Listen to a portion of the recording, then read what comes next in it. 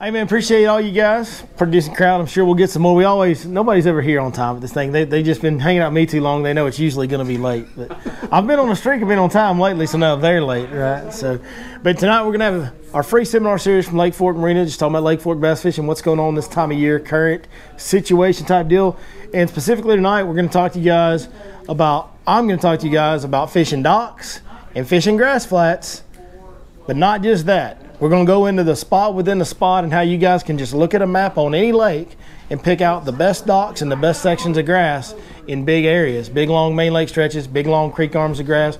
We're going to dial in how you guys can find the juice within those big massive areas. It can sometimes you pull up to a lake, it's got a thousand docks, it's overwhelming. Where do you start, right? So we're going to try and help you with that, and really specifically how to do it right now this time of year. The type of docks are going to be good for this time of year. That way, for those guys that are coming out next week for Berkley, it'll help y'all. For those of y'all that are in attendance that might be fishing whatever tournaments out here this weekend, because there's always some. I know we got the Bass Cat Owners Tournament. Is anybody fishing Bass Cat Owners Tournament? No, nobody in the room. Well, they're all missing out. They should be coming up here listening to this because I think we got some good stuff as far as something where you can just take a look at Navionics, take a look at Google Earth, and you'll be able to just go, right there. And I bet you you're gonna pull up and find that it's right there because it's it's pretty consistent this time of year when they're transitioning and spread out a bunch. Which areas are going to tend to gather fish, even though there's really no gathering of fish, so to speak, when they're transitioning. But these areas are going to have more than anywhere else you'll find. So we're going to do that, and then afterwards, when I get done with that, Cody is going because Cody's big time tournament angler out here was for for a couple years there, and now he started guiding. But he's going to discuss if he was fishing the Berkley tournament coming up or the Bass Cat Owners tomorrow, what he'd be doing and how he would how he would attack it, what baits he would use, what tactics he would deploy. So if y'all have questions at any time, just shout them out, holler, whatever y'all want to do. It's a real informal deal except for you. got got to make sure my oldest son. He, he hey, that's girl. He'll be talking about everything. He's like his dad. He can talk now. So one thing that I'm doing right now is I'm fishing a lot of docks. I'm fishing docks first thing in the morning, and I don't want to give too much away because we're really going to go into that in depth on Monday's video.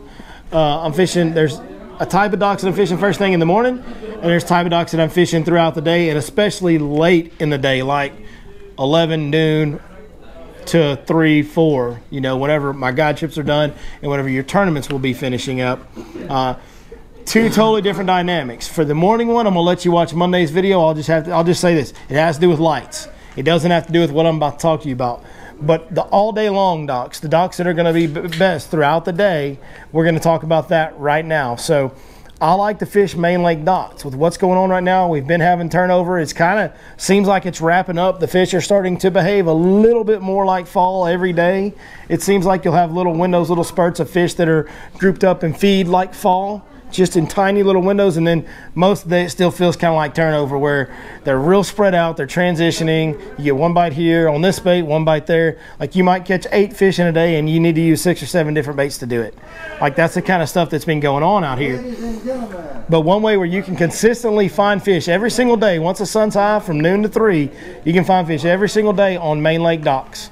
Uh, you know, if the creek arm's big enough, you can consider that main lake. Does, is anybody confused about that? I say main lake, I think sometimes people want to take it by the textbook definition of it's got to be right out here near the main boat lane.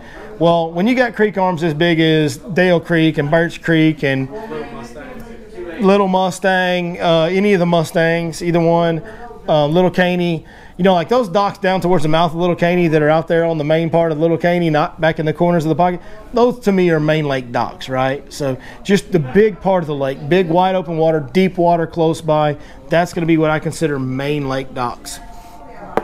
Now, what you'll find is creek channels are going to be such a huge deal in this because when fish are transitioning, they're moving, right?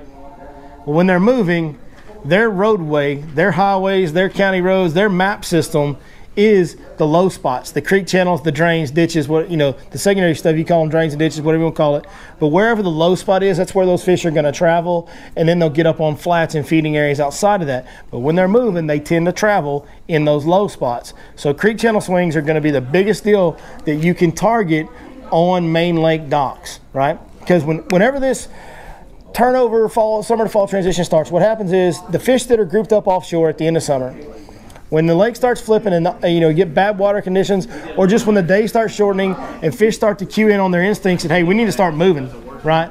Those schools break up and those fish scatter out along the banks everywhere, and they'll be in this little pocket and they'll be on that patch, patch of grass on the main lake bank, and they're liable to be anywhere up shallow, kind of spread out. Well, as they travel, we have something what we like to call transition points. Uh, transition points or transition stop signs. What that is is it's a place that as they're spread out and traveling, it tends to gather a few of them. Some of them tend to stop there for a minute. Why we call them stop signs. It's just a place that's convenient for them to set up a temporary home. Man, that crowd down there is loud. Because I'm, I'm loud and they're overpowering me, so they're real loud. But it, it's just, it's a temporary place for a fish to set up a temporary home, maybe for a day or two, maybe for a week or two, maybe for a month. Right now, our turnover process has kind of gotten prolonged because we've had prolonged warmer conditions, right? So it started cooling off and then it just kind of, and the water stayed between 80 and 85 for a long time now. And that's still where it is for the most part.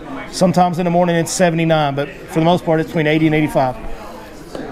So creek channel swings are going to play such a big role in this. And you can see right here that you'll be on the main lake and a creek channel swing right in. Sometimes the creek channel swing almost under the dock. Sometimes it will go under the end of the dock at times. That, that's the best you can get because what you want and what those fish will do is as they're traveling down here, they go, oh man, that's a nice house right there for me to sit on for a day. Hey, look at look at them bait watered up in that brush pile under that dock right there. And they'll kind of sit on that dock for a little while, right? So instead of just having the one-off fish that's passing through that you catch, you'll have the one-off fish that's passing through, and then he'll stay there for a few days, and then next thing you know, later that day another one comes in. Tomorrow three or more come in. Now you got four or five fish hanging out under this dock for a little while. That's a lot better than one here, one there on a different bait everywhere you go, right? It's a big improvement. And what will happen is those fish will stay right here, and then when they really want to get active and feed, you'll see schooling activity here, here, here, here, all between them. But day in, day out, especially in the middle of the day when that sun gets highest, they're going to home. They're going to get up under that shade. They're going to ambush anything they can that comes under there during the high sun time of the day. But they're going to stay under that dock in that time. Now, one thing you can do in the mornings, especially, is if you get a good stretch of docks, it's got some good creek swings, it's got some bait, it's got some life. First thing in the morning, those fish will be outside of the docks, just up and down the bank in between them, and they'll be busting top water.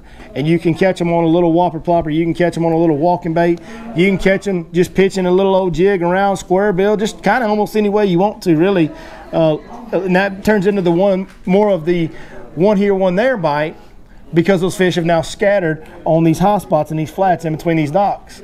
But then at noon to three, you're going to catch them right there. And you're probably going to catch them best on a shaky head and a wacky worm. Or drop shot if you're a drop shot guy. If you're a drop shot guy, it's a great bait. To me, especially if it's calm or fairly calm, which it won't be this weekend, unfortunately, but next weekend it might be, right? For the Berkley. The wacky worm's the deal. Later in the day, if it's calm enough to get you a wacky worm and throw it up under that dock. Because when it's calm especially and really whether it's calm or not a lot of those fish in the heat of the day right now are going to suspend under that darkest heaviest shade in that dock. They're going to get to the darkest place of it. They're going to suspend up by the surface. That's where the coolest water temps are going to be and they're going to find something to sit on right there dock piling a piece of brush whatever it may be. So that's really that wacky worm is the one that catches them the best for me because it falls so slow it'll stay in those suspending fishes face for so long. And when you're, when you're dealing with docks that have creek channel swings close to them, those docks are going to tend to have more depth on them. So you can't throw a shaky head in there and it's three foot of water and yeah, he's suspended at one foot, but he's two foot from your bait. No, he might be six, eight, ten foot away from your bait if you throw something goes to the bottom in there, if he's suspended up at the surface. So the wacky one really comes into play because it stays in their face. And you can let it fall for a little while, shake it up and let it fall and kind of keep it up high in the water column where it stays in the face of those fish that suspend under those docks later in the day. So you don't let it sink all the way to the bottom? Not a lot of times I don't. It, you know, especially once I've gotten a bite up high in the water column, I will at first. Like when I'm just just getting there, trying to figure out, trying to get my first clue, my first bite, I'll fish it top to bottom whenever I'm first doing it. Nine times out of ten, your bite's going to come higher in the water column. It'll be one of them deals. You'll pitch it in there, it'll be falling, and your line will just start running before it ever gets to the bottom right? So you got to watch your slack when you're when you wacky worm's falling. You really got to watch your slack. So one thing I want to do with you guys, I wanted to rate these docks. So what we got is we got a dock where the creek swings dang near under it. Then we got a couple docks on either side of that. We got one where the creek swings way far away from it. We got one where the creek comes close but doesn't quite go under it on this drawing right here. So if we had to rate these docks one to five, which one you want to fish? What's the best one on this stretch? The second one from the. This one right here with the creek coming under it. Absolutely, that's number one. All right, which one are y'all gonna say is number two? One to the right. of the- This one right here? Yeah.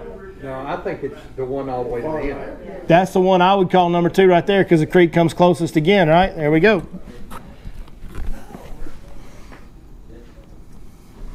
Now, which one's number three? One to the right of the second one. Honestly, this could be 3A and 3B, right? Right. Because you're still likely to have a few fish that have made home under that, especially if that's got more brush than this does, or, or, or you know, if one of these has more brush than the other, it's going to be number three, and then the other one's going to be number four, right? So we'll do three and four right there. So what number does that make this dock right here? No, that makes this dock this one right here. Do not waste your time. That's the one. Hey, that's what this deal is all about. Is learning which docks to do I take time fishing, which docks do I not. Now there may be ten docks in a row that are don't fish it until that creek bend comes back in near it. But hey, a dock or two on either side of a creek bend that comes comes in tight, the one that's right on where the creek bend comes in tight. Sometimes the creek will come in, sometimes that creek will come in and stay right here. Now I'm gonna fish all of those. I'm gonna fish every one of them, and this is one A, one B, one C, and then these are two and three, right? So just depending on where that creek been and how close it goes, but never get more than a couple docks away from that creek being close. Wherever that creek starts widening back out and gets away from the bank, away from those docks, once it does that, leave those docks alone and move on. I don't care how much brush they have. I don't care how baited they look. I don't care. It doesn't matter because what matters right now is the movement of the fish during this season. They're transitioning. So they're going to gather on the docks that are closest to their highway. Okay? All right, that's dock fishing during the transition. Any questions on that before I move on? So whenever, even whenever it gets later in the day, still go to either side. Say of that number one dog, still go to either side, even in the heat of the day. Yes, yes, because fish are really dumb and they do dumb things for dumb reasons. Even the docks that I'm telling you not to fish doesn't mean you can't go over and catch fish. Right. Right. Right. Okay. Just a high percentage area. The percentage of the there's gonna be more bass on the ones on the creek swing. There might be some on the ones next to it. Once I get away from that, I don't want to mess with it because yeah, there might be one there, but the odd that's when you start getting overwhelmed with there's five thousand docks on this lake. Where do I fish? Well, we're trying to eliminate. I mean, because the reality is those creek swing docks are going to be one in 10, one in 20 of all the docks that you'll see on a map. So we're really eliminating 90 to 95% of the docks on this lake, which is what you want to do when you're trying to decide which docks do I fish. But you're saying that uh, these fish aren't going to just be moving in and out of there, but pretty much be hanging out in those Yeah. areas. So what I'm saying is, if you go there and catch a few fish, You're really not even need sitting there all day hoping there's going to be more move in that same area. Or Well, no, so they are moving. They're all moving this time of year. They are all moving, and they move more in the fall than they do even in the spring. So even as we go through on, on throughout fall, man, they roam chasing bait all over the place. That's it. Really changes from moving for comfort and temperature needs to they start moving because the bait's moving in the fall. But right now they're moving because of turnover. And it's just that time to transition. Uh, so they are all moving. All these are is docks that are adjacent to um, stop signs from the contours on the bottom. So yeah, they're going to stop there for a little while, but that doesn't. New ones are always coming to that stop sign every day, and then some of those fish that have been there are leaving every day. So they're all moving. These are just the areas that are going to gather fish. So yeah, if you catch two or three fish on that dock at noon, and then you move on down the stretch, and now it's three o'clock, we got 30 more minutes. Go hit it again, because there might be some new ones that pulled in there, one or two, you know. Can I ask you? Yes, sir. At, at night, I would say they're probably moving more, right? Hmm. Or you think they're still moving about the same? I, I think I think it's probably pretty similar. I think it, I mean I, I don't really know. I've never really read a study on that. Um, I don't have a tremendous amount of night fishing experience to, to rely on, um, but I, I don't see why it'd be any different, honestly. If anything, I would say with less visibility, they might move less at night. It, from my experience, because me and Vic, we fish a lot of nights. Um, they they do move less. Mm-hmm. Um, but at your lighted docks, they they they're moving just like it's daytime. You That- can see them. I mean, they're- and they're- that's what I was going to say. Is at night everything changes because of there's 150, 200 green lights on underwater lights on docks out here, and then everybody else has got a light shining in the water, and which ones are on tonight and off tomorrow. So the light situation gathers the bait fish and completely changes the dynamic of contours and structure. It just changes the whole game at night because of the lights around docks. While we're on this subject, if you don't mind if I ask, I just installed black lights, LED strips on the outside of my boat. Mm-hmm. Really nice. Target starts at six. You got good forty-five minutes, but you can see it gets a little light and eating that fish. Okay, well, you can see that's definitely gonna bring some shad up, but is that a problem? I, I had your fish away from the area or getting too close to you? No, I don't think so. I think anything you can do to attract bait to where you are is a good thing. If anything else, you, you carry, you know, if bait fish are attracted to the lighting on your boat. And I mean, for years when we night fish, what we do, we took lights, underwater lights, and on a rope and threw them off the side of our boat. So if you've got those mounted in your rub rails or whatever it is, and that's causing bait fish to gather around your boat, all that's going to do is make the fish that do get close to you more prone to feed and get active. I don't, that's nothing but a positive to me. What I, I just kind of curious about that, uh, in this last term, I was sitting out there, black lights were on. I knew it was on fish the day before. And, uh, had all these bait fish around me and everything, uh, but I, I wasn't there before daylight in this one area. I found it a little bit later, so I sat there all day, anyway, it was like, it's like, I didn't get a bite. My black lights have something to do with this, or what? No, I, I ran. I didn't run black lights. I ran the white LED strips down my side of my boat on my first two boats because I did. Me and Vic did a lot of night fishing. Um, for one, it does carry in, uh, you know, bait fish, bugs, bugs, bait fishing, bugs, blah blah blah. Um, another thing it helps with is you can see the bank to see where you're throwing better as well. There's nothing. It don't scare the fish off, uh, in my opinion. I just kind of, I, I didn't think so, but it's like, that's something that, you know, gets in the back of your mind. You can't foul your game up, you know. Yeah, absolutely. No, we want to answer every question we can. Yes, sir. Do you use your Humminbird 360 or active target or something to look at underneath that dock? Yes. If you don't see it, do you just leave them? Yes, sir. Absolutely. I didn't really speak on that, but yeah, if you have that technology like I have, I've got a Humminbird 360. And now 360 is not going to tell me nothing about. I'm not going. There's well, on 360. I don't know. I guess if you were zoomed way in and you were close to the dock, you might be able to mark some fish. But I run it at about 80 feet most of the time on my 360 on my my circumference from center. Um, with dock pilings all grouped up, you're not going to mark fish in there. At least I'm not. I'm not seeing fish on docks on a 360, but on active target, I absolutely am. Yeah, 360, you're probably marking like brush and stuff, I would assume, right? and I'll tell you what else you'll mark. You'll mark a stump, a laydown, or something that's right outside the dock that you didn't know existed. It's under the water. Man, we might make a little pitch over there at that. You know what I mean? Like we do do that with the 360 around docks. Hey, look at that! Look at that brush pile over there. Look at that laydown over there, and then we'll pitch that shaky head at wacky worm to that, and that just a lot of times give us what I call bonus fish. Which bonus fish are great. You know, I, bonus fish is something we always have referred to in the guide business for a long time. And be like, well, we're going to fish that grass in the back, but on the way in, we're going to fish this bank line. We're going to fish that shore grass leading back to it. If we catch one, it's a bonus fish. Same deal with these docks with 360. If I see a lay down a brush pile and we pitch a shaky head over and catch one, that's just an added fish that we weren't even going to target. And that's one thing that the 360 and active target, all this new technology, it- it adds bonus fish every day almost. I mean, it really does if you're using them throughout the day.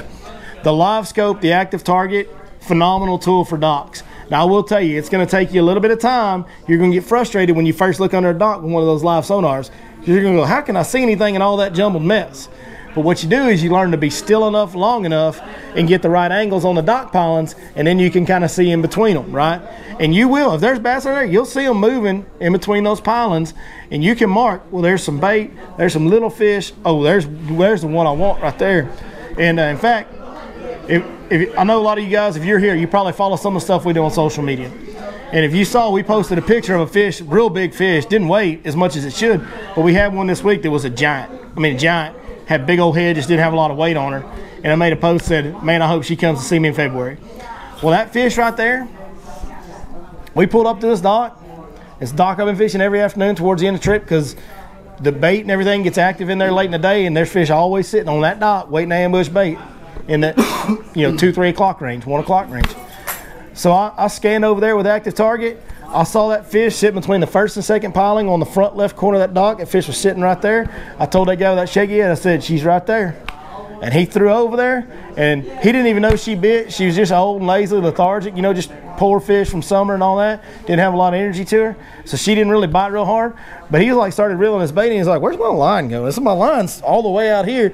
Next thing I know, the guy's like, "Oh, I got a fish," and it's right by the boat, running hot. But yeah, he threw on that dock right between the two ponds I told him to, and caught that fish, and I saw her on active target. So, and yes, if I pull up to a dock and I scan under there and I don't see a bass, I'm gonna make two or three pitches on that dock because sometimes let me tell you a little something about active target. It don't show you every fish. Like, you don't see every fish on there. There might be five of them under there that you don't see because they're so tight to uh, a piece of cover, a brush, a, a dock pile, or something, whatever, right? Or they're so high suspended by the, you just don't see them. So I'll, while having my active target on there, I'll skip a jig, skip shaky head, what I'll get something under there. Now, if you get something under there and nothing moves on it, I'll, like I said, I'll make two, three, four casts under that dog. If I don't see nothing by then, I'm bouncing. Because here's the deal. If I pitch a bait under there and nothing moves around that bait or comes and looks at it or does or reacts in some kind of way, one of two possibilities. One, there ain't none there. Two, the ones that are there ain't gonna bite. So we might as well go either way, right? Uh, that's another thing you learn about active target. It's a lot like bed fishing. When you pitch that bait in there, that fish won't do nothing at all, won't react, won't do nothing. Or if that fish just kind of leaves and doesn't come back, there's no sense in fishing for that bed fish, right? Same thing with this active target. If you throw a bait at it and it goes the other way, like it goes away from your bait, don't waste your time. Maybe make two casts to it. If it doesn't turn around and respond positively to your bait, leave. Leave that one alone. Move on to the next one. She's not going to bite. So, yes, active target plays a very good role. Now, if you don't have that, you can still eliminate 90, 95% of the docks on what we talked about and go hit those high percentage docks, right? You just have to fish all of them thoroughly. That's what these electronics do. They make you so much more efficient. You don't make a cast, you don't make any wasted casts. You don't sit there and spend 30 minutes picking a dock apart and there's nothing there or nothing there that wants to bite, right? Because now with active target, you can see, okay, we got some fish around this dock that are responding to baits. They're moving towards our baits. We're going to pick this dock apart and fish it for an hour if we need to. You know, so you just stay a lot more efficient. Now, whenever you're fishing the docks, I'm assuming what I've been doing, I've been newly fishing docks or whatever. I'm kind of new to it, but I've been trying to. St- I try to stay off the dock as far as I Yeah. can. So the trolling motor noise. It's different with guiding. Back in the day, the old school dock mentality, and I grew up on Lake Conroe fishing a lot of docks. I always made my first cast to the outside post and stay as far away from it as I can. Now, uh-uh, forget that. I want to go look under that dock.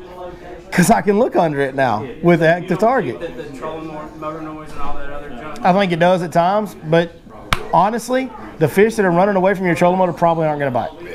Me personally, I like to start off and stay away from them, fish. Yeah.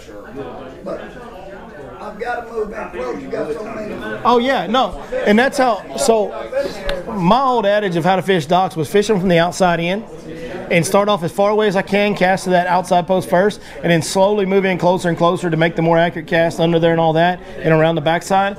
But now with active target, I just go in where I'm 30, 40, maybe 30 feet away from the outside piling, and I can look under there and know what I'm casting at, and know if there's fish there and all that. And I want to be close enough to where if I skip my bait on there, I can see it falling back under the dock. I want to be able to see everything now because I can. That's new to this year. Like we haven't been able to do that in the past. So I've kind of I've noticed that I have foregone the stay away, hit the outside post first theory that I used to have because now I can just go up there and I can know what I'm casting at. Well, I still have to do it those way. Right, I understand. And that's the way I always did it. Because, man, so many times you pick one up off that outside post that you might not have if you got too close. That was my, my theory on that. Now I can go look at them, so it's different. Right. All right, any other questions on the docks before we move on to the grass? Don't have that technology, is it probably better if you are fishing a tournament just to pick out, you know, say you picked out docks on Navionics or what have you, and just hit specific. Just hit this one. We're gonna hit this one. We're gonna hit that one. Yeah, Just make little yeah. Pick out those two or three or four docks around that creek swing. Boom to the next one. Don't go fishing every dock, dude. I'm listen. That's like saying, hey man, let's go to Lake Fork and let's fish every tree in Little Caney. No, let's fish the trees on the points. Let's fish the trees on the creek bends. Let's fish the trees on the humps. Let's not go fish all 500,000 stumps in Little Caney. It's not. You're not going to do it, and you're going to spend a lot of time fishing dead water. Anytime, you, and I've said this many times over the years on camera. Anytime you're fishing any type of situation where you have an overwhelming amount of cover, whether you have an overwhelming amount of docks, timber, grass, whatever it is, anytime, the bottom contours matter. What you need to do is pretend no docks are on that bank line. What part of that bank line would you fish if there was no docks there? Well, you'd fish that creek channel swing. Well, let's fish that dock and the two next to it. Then let's move on to the next creek swing. So whenever you have overabundance of cover, pretend it doesn't exist. Look at the bottom contours, pick where you'd fish in that area. Only fish the cover in those areas. You think bottom content plays a part too? Like is it harder bottom? Or Absolutely does. Always with bass. It- there's never a time where bottom content doesn't. You know, a harder bottom is always better. Right. Always. So the only time that that can be trumped and and not matter as much is what we're about to talk about. That's grass. Because when you got grass, the bottom content can still matter, but it doesn't have to. It's really about the healthiest grass. It becomes about the healthiest grass. That's what it becomes about. Uh, the tights that they're holding, that might be holding this. Yeah, yeah, yeah, absolutely. So, what we're going to talk about is grass fishing. Now, there's not just a tremendous amount of huge grass flats on the lake with a ton of healthy grass, but there is some. There is some, and there's several around the lake. If you if you go find them, one way you can find them, Fish Lyfe app. We've got them marked on there right now. We've got several grass flats marked. We've got several of those key stretches of docks marked. You can go to Fish Lyfe uh, at App Store, uh, what, Google Play Store, or www.fishlyfe.net. The important thing is the life is spelled with a Y, L Y F E. Fish. Yeah, you can hire a guide too. You can get and you can get several of them booked over at yourlakeforkguide.com too. While we're at it, go to 6thsensefishing.com. order some baits and punch in that code your Lake Fork Guide. You'll get a 10% discount on all orders. All right, we got all the plugs out of the way. No, you forgot one. What I do? I gotta say it because I finally I got my pairing today. Waterland. Waterland. That's where we got Waterland. Hey, you need glasses? Go to waterlandco.com or 6th Sense Fishing. Get them either place. At Waterland Co. though, if you go use your Lake Fork guide there, you get a 15% discount. Even better. How about that? So, all right, what we'll find in grass flats in some, in a lot of ways, is similar to what we talked about with the docks. What's happening right now? They're transitioning. They're moving a lot. What's their highways? Creek channels, drains, low spots. That's how they move. So what do you think we're going to focus on in a grass flat? Creek channels, drains, yeah. And the best parts of a creek channel to gather fish are creek channel swings and junctions. That's the two things that are really going to come into hand and, and play and be a really big gathering area when fish don't want to gather.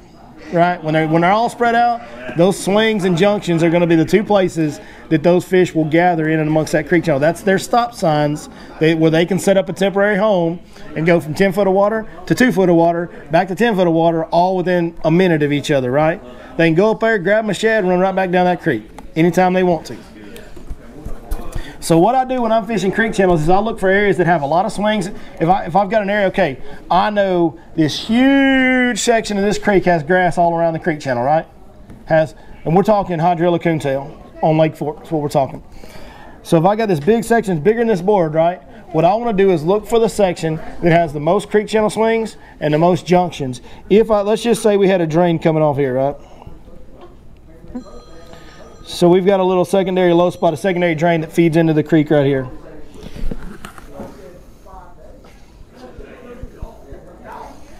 All right, there's our drain. So what I'm gonna do is I'm gonna put this time of year because what's gonna happen is they're gonna be in the creek channel at times. They're not gonna be as prone to feed in the creek channel. What they're gonna do when they wanna feed is jump up on this flat and feed. So what I like to do this time of year is put my boat in the creek channel. And I just follow the creek channel with my boat and I fan cast all this grass. But I want to be in an area that's as high percentage as possible. So I want to get an area that has the most swings, the most junctions. Here's what happens when you have creek channel swings. Eliminate everything on here except for this line right here. What does that line look like right there? A point. Oh. Just this inside line right here. Y'all see that? Everybody see that? That creates a point.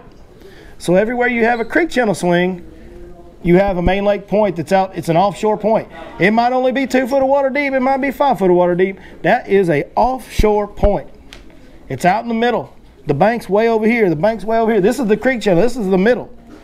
That's an offshore point. This one right here, that's another offshore point. Well, you know what fish love to pull up on, to pin shad on? Because of the depth changes and the, the shape and the contour of them, they come to that point. Fish love to push bait up on points and feed and pin them up there and feed, right? So they, this is where these fish are going to feed in this creek the most, in the most numbers. So when you get to these areas, you really slow down around those creek channel swings. And they might be out here on the outside of the swing, out here on this part of the flat. But I'm telling you right now, these creek channels where I'm catching the schools of fish, where I'm seeing them pop up and visibly chase shad and school on the surface, every single time it's on a point. It's on Always in the grass. these yeah, these areas are covered in grass. Like this this area right here is grass all the way around on either side of the creek channel, right? And there's several of those scenarios out here right now. Um, but yeah, this is grass specifically grass related fish. This is about going into an area there's 100 acres of hydrilla. Where is the spot that I need to spend my time? Where's the one spot that I really need to beat it to death, focus on and spend the most of my time fishing? That's what this is about. So if you're fishing that, you know, like the mainland or like using the mainland Yeah, point the creek swing point, right? Would it? I'm just thinking. Would it not be smarter to go on the outside on that other side of that grass and make a longer cast so your bait is in the strike zone longer, or no? Well, it could be. I mean, yeah, if you want to break it down and be that definite with it. But what we do is we just put our boat in here, and then as we come through here, now we can fan cast to here, we can fan cast to here, we can hit here. Like we just fan cast the whole thing, because yeah, these this is where these fish are popping up and schooling. But that doesn't mean we're not catching some over here. And that also, I mean, again, it's a lot like the docks. I think he's got in mind a partner in the back. Y'all both fishing off Right. the side. Yeah. I think that's where he's coming. Well, hey, I'm a guy. I'm a guide. I have two guy. I have two partners. One right behind me and one in the back all the time. But when you put your boat in the creek channel, as you come up here, what better way to let the whole boat access a point than to go all the way around it? Now we can all hit that point from any side we want to, right? So don't get too caught up. Also, remember these fish when they're up there feeding on the hot spots, they are moving.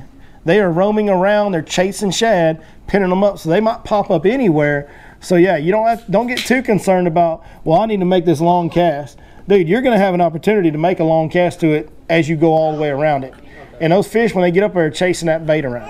And you were probably thinking about cutting your partner off, right?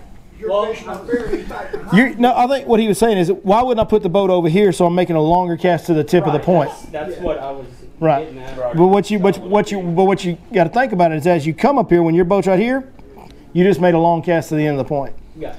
And if you're worried about cutting getting too close this part of the point, well, when you're down here, you just make a long cast to there. Okay. Yeah, So you're fan casting the whole time as you approach each and every cornering curve of that creek channel.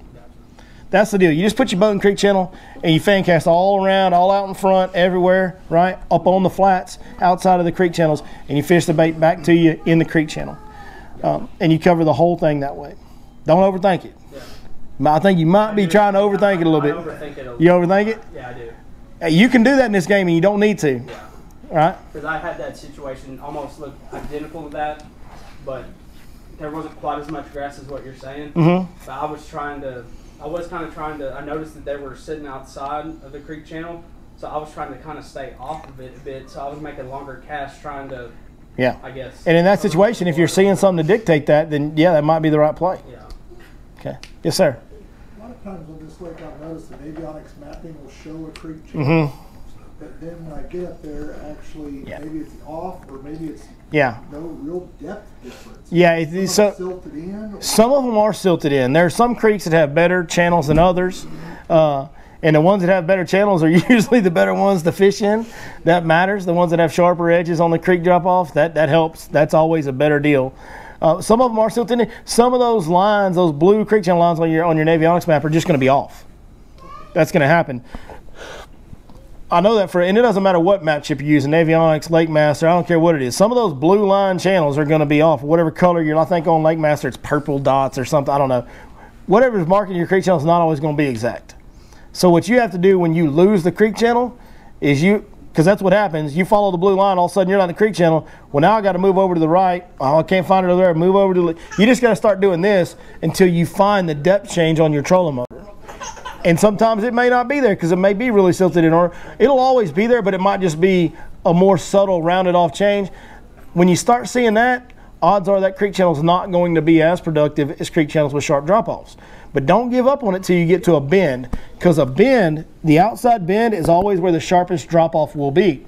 Before this was a lake, when water ran down this creek, it ran up against that outside bend harder, so it created that. You know, like when you see a creek in the woods and all the old tree roots are exposed, it's got that bluff wall on it. It may only be three foot tall, but there's a bluff wall on it on the outside. Your sharpest drop will always be here. So just because it's silted in here doesn't mean it's not great right here. So make sure you're looking at a couple outside bends before you decide, well, this creek channel's just silted in, right? But if it, if you find one and you're like the whole thing's just silted in, even outside bends, you probably need to go to a different creek. Have you marked lakes that you fish here obviously a lot? Do you, when you get in the channel, do you set waypoints and kind of? I do on deeper ones. Um, I really don't on shallow ones. I mean, I've fished here so much now. I've been here for 12 years now. Um, and I've seen the lake at different levels and, you know, different grass growing and, you know, all kinds of stuff. Uh, so in the shallow ones, I don't really necessarily mark waypoints because in the shallow ones, typically I'm fan casting around the channel. Now, in the medium depth to deeper creek channels that we fish a jig in in the wintertime, where I really want to be precise and put my jig right on that sharpest part of the drop off on the outside bend, I absolutely mark waypoints. I actually made a video this last winter about how I do that. And if you look in certain creeks, like you can tell the creeks I like to fish a jig in that have like the really good drop offs, because you'll look at my map and there will be hundreds of waypoints in one creek arm. Because it's like boop, boop, boop, boop, boop. Like I've marked every, you know, the whole turn of the bend on every good outside bend. So yes, I do map those out on the medium to deep. You know, once I get to six, eight, 10 foot of water and deeper, I'll map those out for jig fishing in the wintertime. But that's because I have to put that jig right there. Like it's got to be on the, the drop. I can't miss that in that type. I mean, we're sitting still, dragging a jig as slow as we can drag it. I've got to make sure every cast is in the right exact spot. And it, my customers' casts are too. This deal, man, long as I honestly look, if my boat ends up up here, I, it's okay. We'll get back over here. We're just gonna keep fan casting around. This is not a I have to hit this part of this bend. I can catch a fish anywhere around these. These are just stop signs that tend to make some of them gravitate towards it when fish aren't really wanting to gather. So we're wanting to stay in this general area, but it's not a, I have to cast on that bend. So I don't really waypoint those. All right. Um, so let, us talk. Let's talk about this map like we did the docks, right? So we've got one big swing here, one big swing here, a little bit more dull swing, a little bit softer swing here. We've got a junction right here. So where do you guys think the best spot to fish in this section of creek is? I still say I don't know. That, I'd say that main point. The, This one? there, yeah. This is this what you think is the best? No, I'd say right there where the drain is. Oh, okay. So see what so we said junctions matter too, right? Yeah. Because now what do I got? I got another. And I got another point. Yeah, they're not as sharp, but I've got a point and a point. I've got another I've got another You highway. got the, the inside on the creek there. Yeah, where do the traffic jams happen on the highway? At the intersections and the exits, right? And that's what that is. So I've got this point, I've got this point, this point, I've got this funnel and this funnel. So that's got a lot of things going on. So we're going to call that number one.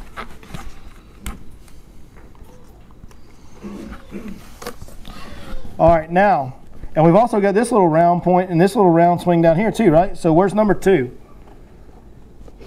Where do we think the second best area to fish in here is? The main, the biggest point there. Probably right there. That's right. I would agree with that. All that one right above it, two B or whatever. No, I would say because this is sharper. Okay. This is a sharper bend. It's probably going to be better. Um, so now we basically got very similar things here, right? Yeah. Is that right? Did I do that right? Mm-hmm. I didn't do any of them backwards? Proud Is that based on current flow? Huh? Is that based on current flow? No, these these could be 3A and 3B. They're they're basically the same. Here, here's the X factor in grass, and what you notice I didn't do, there's no X's on this one, right? There's no X's on this one. You can fish it all. Yeah, yeah. You can, be, as long as there's grass there, especially healthy grass, hydrilla or coontail, you can fish all of it. I mean, you can fish way over here, you can fish way over here. They might, they might roam around. They're gonna. It's not like a dock where you've got that dock. They're gonna roam that grass flat more. We want to stay around the creek channel. That's gonna be our higher percentage area, but there's not gonna be any bend in a creek channel that has grass around it. That's a no go. They're all possible for those fish to pop up in and feed. The other thing that's going to be a factor that you got to learn how to decide is the health of the grass. Especially this time of year when we're experiencing, and we've just been experiencing, and we still kind of are a little bit, turnover conditions. That means that oxygen has been depleted out of the water. The fish are dealing with the lowest oxygen content of the year. You know what puts oxygen in water? You know what puts more oxygen in water? Healthy grass. The healthiest grass is going to produce the most oxygen. So, if there's healthy grass down here on four, like really, really healthy grass, and the grass up here on number one is dead and muddy and dying and not green, brown, this is going to be a lot better than number one. The health of the grass can change everything on where the fish gather in a flat. These are bottom contours and structures that increase your percentage, but like we always say, there's no absolutes in fishing. There's not ever an absolute in fishing. There's things that we do to put the odds in our favor. And being around creek channel swings and junctions is going to put the odds in your favor. But what also puts odds in your favor is healthy grass. The healthier the grass is, the better. Now, in this particular scenario, there's healthy grass from top to bottom in there. It's it's all the same. So now I just rely on my structures, right? My contours. Does that make sense? All right. Doing anything around lily pads? Uh, not in particular. I mean, yeah, if like everything else we talked about, if they correlate with what I want to see on the with the bottom contours. Yeah, if I'm in an area that's got a, a creek channel drain or a junction or something I want to fish and it's got some lily pads, heck yeah, we're gonna fish them. So we're not talking about glade. No, we're not talking. No, this is not Glade. But Glade is a great. Hey, Glade's one of the best creeks on Lake in the fall. Always has been, always will be. You know, I'm talking about grass, all that kind of stuff. Yeah, Bad thing about it is you can never get in there. A lot of boats. A lot of boats typically in Glade. Yeah, you're right. Glade's a popular, popular creek. This is not Glade, but it could be. But it's not. I'll tell you, there's a section in Glade that actually looks just like this. Uh, but that particular section, the grass has not grown well in this year. Uh, there's not very much grass, and I'm just not fishing it very much because of that. Because I'd rather be around the areas that have grass. I think the fish are gathering around the grass in better numbers when you have it. They're going to feel better. They're going to feed better.